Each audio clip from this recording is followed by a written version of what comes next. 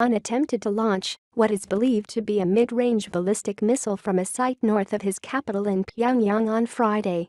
But both U.S. and South Korean military sources state the missile broke up shortly after launch above the Korean peninsula. The launch came after Donald Trump threatened the Hermit Kingdom with war if they did not cease their nuclear missile program. Speaking on condition of anonymity, a U.S. military source said new naval drills and more warships could be sent to the Korean peninsula in a further show of force. The USS Carl Vinson War Fleet has been deployed to the area in anticipation of another missile launch. But the tubby tyrant reacted angrily to this, vowing to wipe out the aircraft carrier with a single missile. The military source said. It's possible that something could be sped up.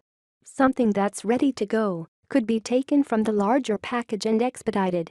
The source added that the missile launch was the kind of provocation that had been expected before South Korea's May 9 election and that Donald could use it as leverage to press China to do more in North Korea he tweeted.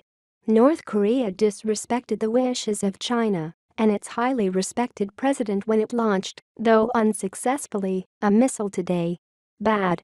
The UN Security Council is likely to start discussing a statement to condemn the missile launch, said diplomats, adding that it was unlikely to be issued on Friday. The Security Council traditionally condemns all missile launches by Pyongyang. Japan condemned the launch as absolutely unacceptable and a violation of UN resolutions. There was no immediate reaction from China. Thank you for watching, please subscribe.